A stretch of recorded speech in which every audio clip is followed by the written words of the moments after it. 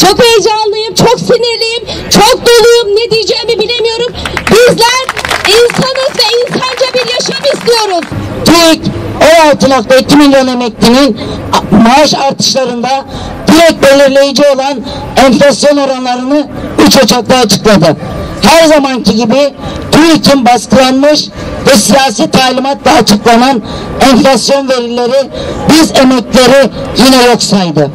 TÜİK enflasyon verilerini belirlerken ekmek, peynir, et, zeytinyağı gibi günlük zorunlu tüketim ürünleri ve ev kiraları gibi enflasyonu en fazla etkileyen enflasyon yüzdelik katılım oranının düşük gösterilmesiyle 6 aylık enflasyon oranı 37.57 olarak açıklandı.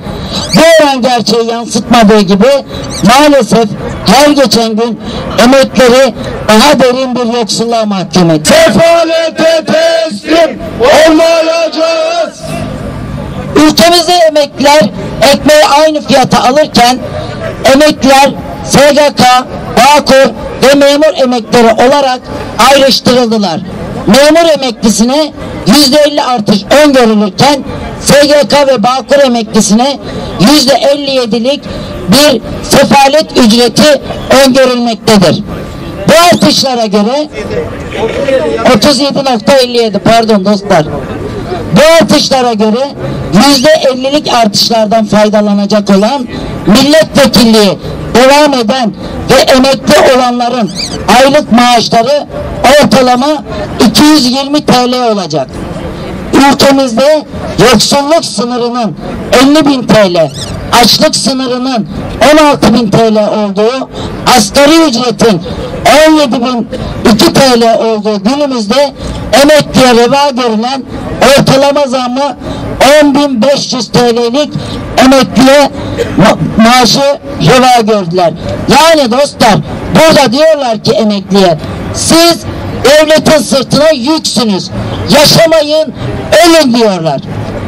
Emekliye verilecek sadaka ücretini mecliste onaylayacak seçtiğimiz 300 emekli vekilin her birinin aylık maaşı ortalama 22 emekli maaşına denk gelmektedir.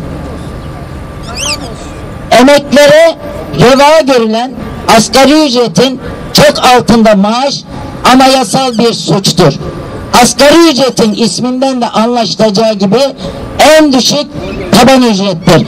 Bu rakamın altında bir ücreti 16 milyon 2 nok olan emekli e, olan emekliler olarak kabul etmiyoruz. Yandaşa değil emekliye bütçe Yandaşa değil emekliye bütçe. Yandaşa değil emekliye bütçe. Değerli dostlar, bizler biliyoruz ki emeklerin her geçen yıl daha yoksullaşmasının nedeni enflasyon değil. Siyasi iktidarın uyguladığı politika sebep. Sonucu ise emekliye ölüm, enflasyon.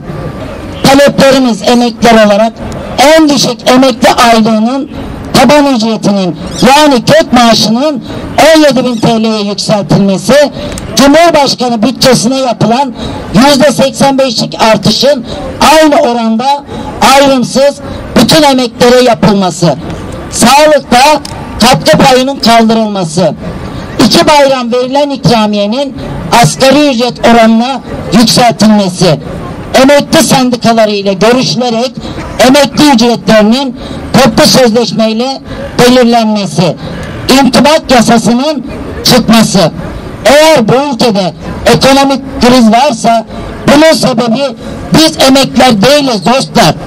Tasarrufa önce Cumhurbaşkanlığı bütçesi, milletvekili maaşları, kamu harcamaları, yandaşlara getirilen vergi afları, köprülere, hastanelere, havaalanlarına verilen garantilerden ve en az 3-5 maaş alanların maaşlarından kesilmesinden tasarrufa başlanmalı. Görüyoruz ki para yok değil, kaynak yok değil dostlar. Bunlar kesildiği zaman emekliler çok rahat bir şekilde yaşamlarını idame ettireceklerdir. Sonuç olarak bireysel zenginleşen seçtiklerimizin toplumsal yoksullaşan emekleri olmayacağız. İktidarın yanlış politikalarının bedelini biz emekliler ödemeyeceğiz. Krizi biz yaratmadık dostlar. Faturasını biz ödemek istemiyoruz.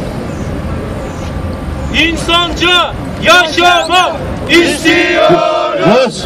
İnsanca yaşamak istiyoruz. İnsanca yaşamak istiyoruz. Ne istiyoruz? Vermeyecekler. Vermeyecekler. Vermeyecekler. Alacağız. Vermeyecekler. Alacağız.